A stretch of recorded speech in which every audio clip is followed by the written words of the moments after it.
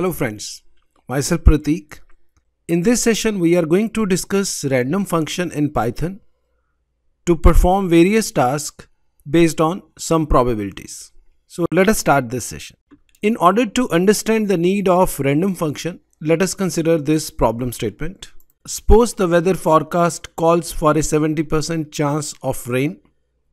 We have to write a function weather1 that prints rain with probability of 0.7 and sun otherwise. So this is very interesting question where we have to print rain with 70% probability and sun with 30% probability. To solve this problem, we require a random number generator which generate its value randomly and based on that we can build a logic to solve this problem. So let us consider how we can generate random numbers in Python. In order to generate random number in Python, we have a library with name random. And this random library has a function random, which is used to generate a random number between 0 and 1. So you can see that I am storing this random number, which is generated by this library in R variable. And then I am printing its value to check the value of the random number generated by the system. Let us execute this code to see its output. So here you can see that I have imported random library calling function random from this storing this in variable r and then printing its value. So I'm executing this code and every time you can see here that I'm getting a different random number and this shows that I can generate random numbers.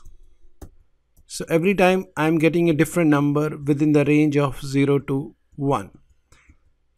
There are 70% chances that I will be getting number between 0 to 0.7 and there are 30% chances that I am getting a number between 0.7 to 1. So you can use this to implement our weather1 function which say that rain should be printed with probability of 70% and sun should be printed with a probability of 30%.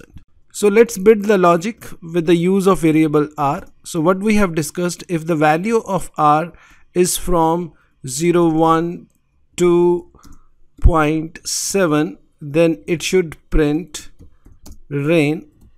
Otherwise, it should print sun. So we can use this logic. So we can build if condition for this. So I will be using if r is less than or equal to 0.7, then it will print rain otherwise it will print sun. So let's execute this code. So you can see that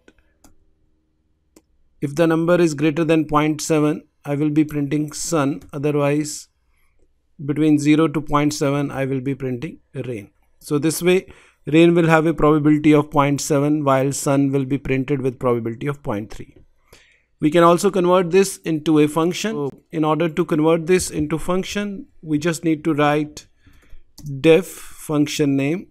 So we don't need to pass anything to this. So I have to indented everything within that function. So the whole code has been placed within this function and I can call this function to get the desirable output. So let's execute. This is working perfectly fine. The code discussed in this video session is available in the description of this video. You can directly use this code to practice this concept so at this point, I want to give you one more task based on the same concept. So we have to design a, another function with name weather2 and it should print snow with probability of 0.66. It should print sun with probability of 0.33 and it will print raining cats and dogs with probability of 0.01. So based on these probabilities, try to print snow, sun and training cats and dogs. So take your time.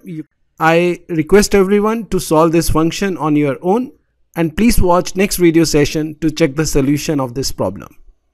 Thanks for watching this video. God bless you.